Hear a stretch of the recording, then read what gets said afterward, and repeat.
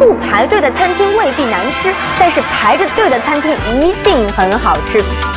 排队的餐厅天天有，在八月到底有哪些呢？我估计这排队上完菜，左右半个钟头呢。这个不同的这个，一日三百六十五天，天天这个来。你知道在八月份的陶醉上海中都有哪些美食，引得大家都如此执着的一定要为之排队呢？今天为各位送上的就是八月份排队最长的餐厅。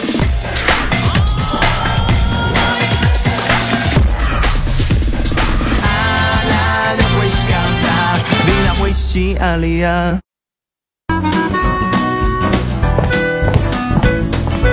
机上海帮您搜网，各位好，我是陈兰。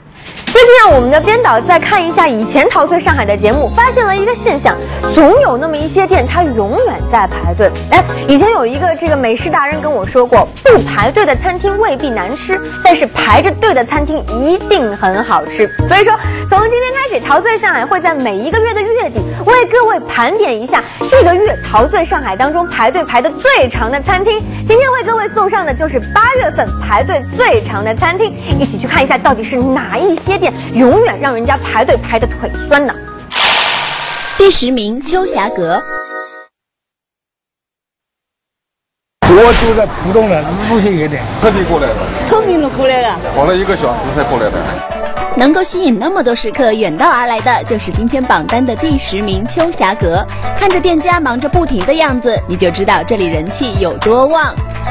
基本上从早上我们六点钟开门，基本上排到大概中午十二点钟左右，隔夜的包子就卖的，就是当天销售多少，就是要全部卖出去，对，特别新鲜。这个馒头好呀，啊，名气好，好吃呀，我一毛十，早一毛年子，还经济实惠。看来大家评价都蛮高，不过看看这富有弹性的面皮和充满汁水的馅料，想必你不给好评也不行喽。另外，这里的月饼也是很受欢迎的哦。跟千把子哦，千把子就是这个，就是刚还没有到那个月饼季季节的时候，就是平常一年到头我们是都都要包的。听这里的老食客们说，这家店已经开了很多年了，爱吃他们家包子的人是越来越多，所以这队伍现在也是越排越长。八月排队餐厅第十名秋霞阁，平均排队时间十分钟，平均排队人数十到十五人。你好，我想请你尝一口这个年糕，好不好？嗯。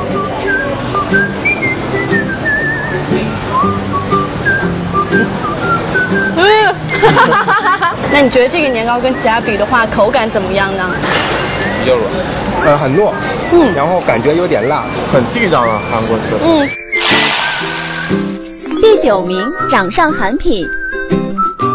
刚刚在路人口中直说好吃，然后口味很正宗的年糕，那就是我手上的这一碗辣年糕了。这边的人真的很多。这家掌上韩品是吴江路上新开不久的一家韩国料理小店，他们家正宗的韩国辣年糕可是这里的人气美食，不知道虏获了多少食客的胃。从墙上到处贴满的留言条就知道，想要吃排队肯定是少不了的。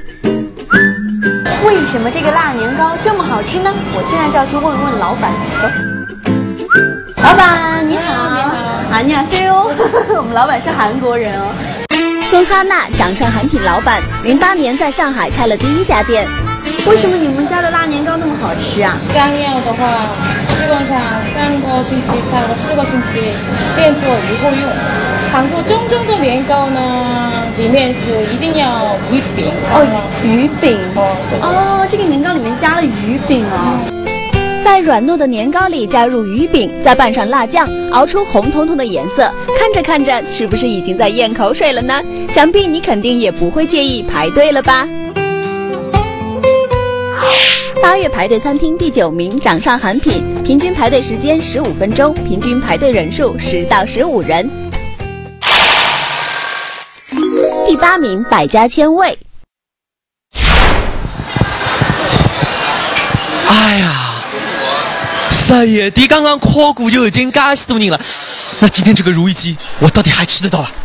看过限量美食那一集的朋友肯定都知道，这家店的招牌菜百家如意鸡可是每桌必点的哦，而且每天不知道有多少顾客都慕名而来，就是想尝尝这鸡到底有多好吃，所以排队的人自然就不会少。而新一同学好像运气就差了点儿。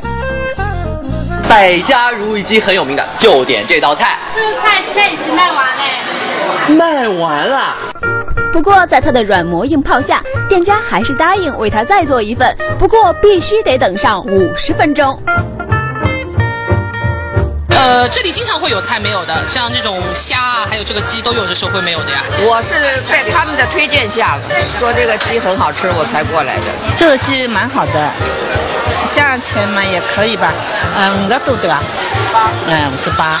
这个鸡烧的还是很入味的，随后比较透，肉质也比较好，随后呢，呃，整个烧出来的感觉也不是很油腻，所以我们觉得还是蛮好吃的。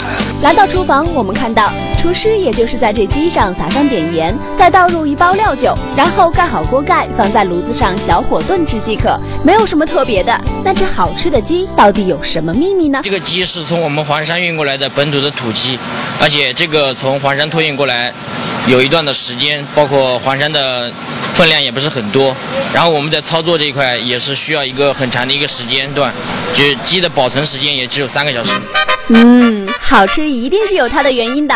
瞧这金黄的鸡肉和诱人的鸡汤，看来新一等上五十分钟也是很值得的呀。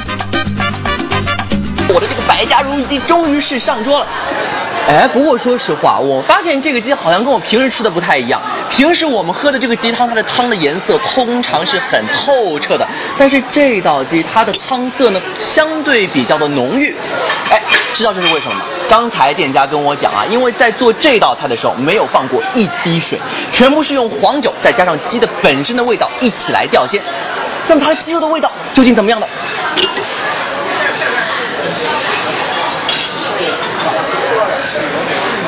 不说别的，告诉你，限量绝对是有道理的。八月排队餐第八名，百家千味，平均排队时间二十分钟，平均排队人数十到十五人。看到了没有？真的是真心的佩服这些，呃，非常有坚韧不拔意志和执着之心的食客。无论刮风下雨，不管路途有多遥远，只要店开着，他们就一定会去排队。看一下我们榜单当中排名第七位的排队餐厅，是在吴江路美食那一集当中的酷酷路小丸子。说到这家店呢，我相信很多去过世博会的朋友一定记忆犹新，在世博会上那个龙长的队伍。所以说呢，他们索性就把门店开到了上海，就位于吴江路上面。你知道这家店的小丸子的，呃，虽然是小小的一个丸子，但是里面却有一大块的章鱼粒，味道是非常的 Q，所以排队有它的道理。继续往后看，榜单当中第六名的排队餐厅是我们十大熟食店当中的红瑞星。这家店的熟食销售是相当的火爆，呃，即便是夏天，但是依然却不能阻挡那些排队的人潮。继续往后看，到底还有哪一些店依然排着长长的队伍呢？第五名，唐韵秦风。你闻到了吗？哦，你你好像闻不到啊。我跟你讲，我闻到了一股酸酸的味道，特别。哎，你好，小姐啊，我闻到这个有一股酸酸的味道啊，这个是什么？哎，是饺子吗？嗯，是饺子。饺子？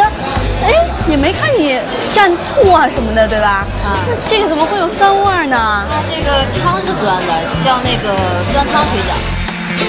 炎热的天气，很多人都会觉得没有胃口，而来上这么一碗开胃的酸汤水饺，可能是很多人的选择。所以这等位的时间肯定短不了。而这水饺最大的特色就在这酸汤之中。那这汤到底有什么不同寻常之处呢？这个啊，对对对对对。哦，我看看啊，它就是这个。对。哇哦。这个是高汤，是我们用那个牛骨，还有那个老母鸡，还有鸡架。之类的，然后吊了四五个小时之后做出来的高汤，里边那个酸的那个味儿是我们那个醋是用那个自己熬制出来的，然后它里边放了十几种大料熬制出来的，比比那个外边卖的那个醋要香一点。哦，就是那个酸味儿是你们的特别熬制的，对对对，里边还加了十几种香料。嗯，懂，我一定要尝一尝。嗯。这一汤太有料了，里面有香菜，还有芝麻，还有韭黄，想不鲜都难。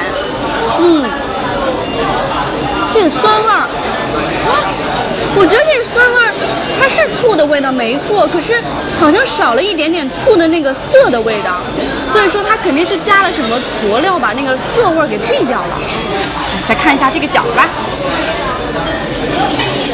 嗯嗯，这个皮儿滑的太入嘴了，这个肉我再尝尝啊，嗯，牛肉韭黄绝对没有错，而且这个肉质绝对的鲜嫩啊，看起来是有点嫩粉红色的，所以这个肉肯定是非常的新鲜，吃起来呢非常的鲜香，再配上这个有点酸味儿的汤，真的是绝了，酸汤饺子，来。八月排队餐厅第五名，唐韵秦风，平均排队时间二十分钟，平均排队人数十五到二十人。那么现在要带大家去找中山公园附近最具人气的面馆，上海人都喜欢吃面，没错吧？哎，那是什么？我没有看错吧？你看刚才，哎，刚刚我叫了一声，把人家吓上去了。刚才他们居然站在这个斑马线上面排队，这家面馆的人气真的是吓到我。虽然之前自己有来踩过点，但没想到这个一到饭点，居然是这个景象。赶快跟我进去看看。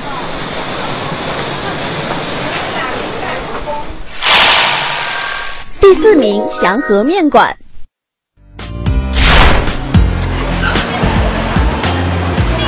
看到没有？什么叫做人气呀？哎呦，这里吃的种类也很多啊！哇，怎么样？我找的人气面馆果然人气十足吧？去问问排队的人吧。位于中山公园附近的这家面馆，一到饭点就一定是挤满了食客。就像这阵势，似乎店里已经快要容纳不下这么多人，可排队人数还是越来越多。那么他们家的面到底有什么吸引人的地方呢？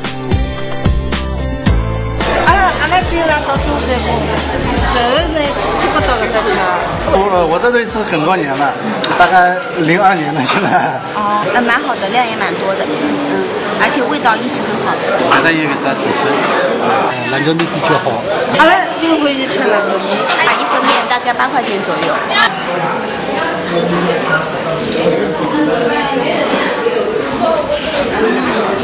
这个味道它有一点与众不同，因为这个腊肉面啊，应该也是上海比较传统的一种面了。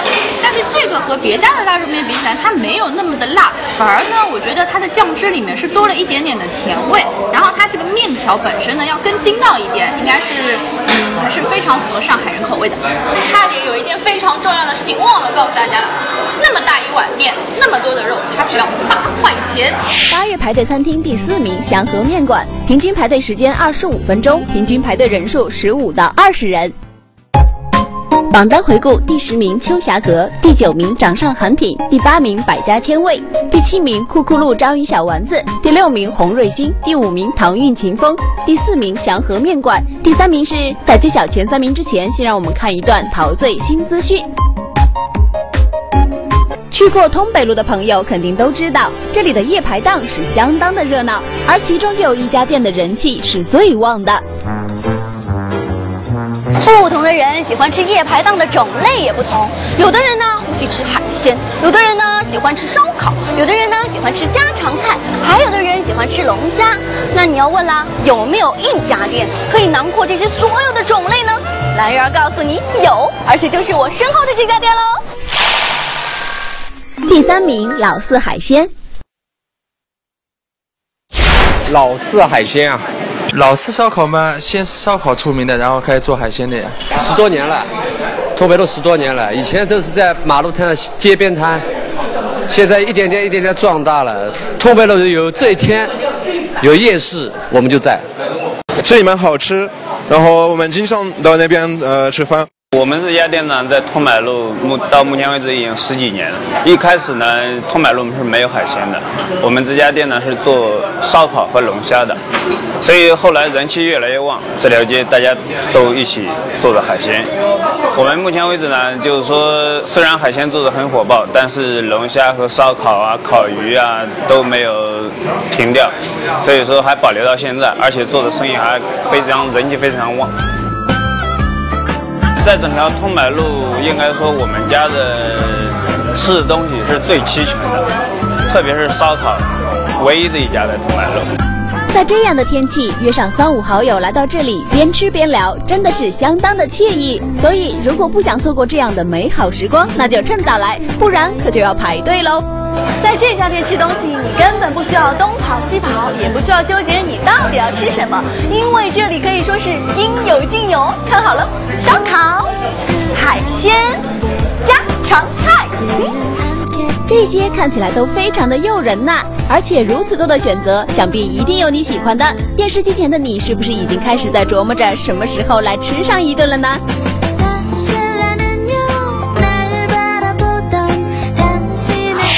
排队餐厅第三名老四海鲜，平均排队时间三十分钟，平均排队人数十五到二十人。看来夜排到永远是人气最旺的地方，也许是因为这样的环境特别容易让人放松的缘故。那我们继续回到我们的榜单，看到第二名哦，就是在中山公园美食这一集当中的新龙记烧腊茶餐厅。这家店是位于龙之梦当中，你知道中山公园边上的龙之梦，一到饭点不排队的可能性几乎没有。但是，一些更牛的餐厅，它就算不是饭点，照样排着长长的队伍。对于这一点，我深有体会。比如说，我们今天的第一名，第一名光明村大酒店。这个我前面的队伍还很长哎，弄过去个排了三碗菜，坐来坐来坐来。这个队伍哎，这么水长啊！呃，十二点半的辰光，人是排早要排一个钟头嘞，一个钟头一个半钟头才会的。伊是三百六十五天，天天这个那样。最长辰光要排一个半钟头，两个钟头，哎，两个钟头也有。那个大早的队伍，侬侬为啥要等到这排？那个味道蛮好的，菜比较好，味道比较沙的。都是老八次，有啥米？哎，比较沙，有清爽。我是从小吃到现在，女女排，做着呢，你看，因为吃惯了，欢喜。看过十大熟食店那集的朋友，肯定对这家店印象深刻。用人山人海来形容，真的也不为过啊！这么热的天，这么长的队伍，还要排这么久的时间，不用说，这里的味道肯定不错。买点啥意思嘛？买只酱牛肉，酱牛肉，哎，小黄鱼，酱啊，酱啊，哎，好啊。我最吃的就这酱酱啊。我买个酱牛肉，再买个这个这个个鱼包好，再买个这个小黄鱼。小八面，小八没好像那就要排什么？熏熏啊，那排了多少辰光队啦？我排一套排了，排阿拉半个钟头排回来，少半个钟头。那都已经老早了嘛。小黄鱼，那好吃呀。嗯嗯嗯。每天天天排队。嗯嗯嗯。三百六十天，天天。哎呦，跟前头后头讲了侪不一样，看来搿搭蛮子蛮子蛮好吃。刚刚有人讲熏酱啊，对吧？酱个，听到没有？好吃的都数不过来了。哎，我跟你讲，搿眼人都已经太早了，我吃不消伊拉。他们大概排了说三刻钟、半个钟头才来，我一刻钟已经不来塞了。这个照这个排法也真是不知道怎么排啊！这个这样子，我们就是少的嘞，就是少啊！哎，不要讲给伊拉听，我有只后门，阿拉从里厢进去，直接进厨房开，不要讲给伊拉听。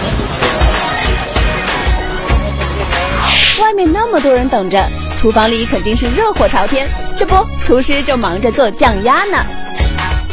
这一锅是什么？哦呦，这个是料，这个就是料，啊，这个这个烧，这个鸭子烧出来的料，调完就是这个，多了就搞拿出来。哦，不能放太多了。那么这个料最后要不要倒到这里面去啊？不要倒的，不要倒的。这里面已经倒好了是吧？这个另外再加料了。另外再加料。这个呢，鸭子，那到外面去卖这个这个卤还送给人家呀。哦，要蘸料的。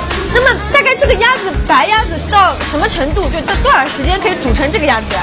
呃，最起码一个小时左右。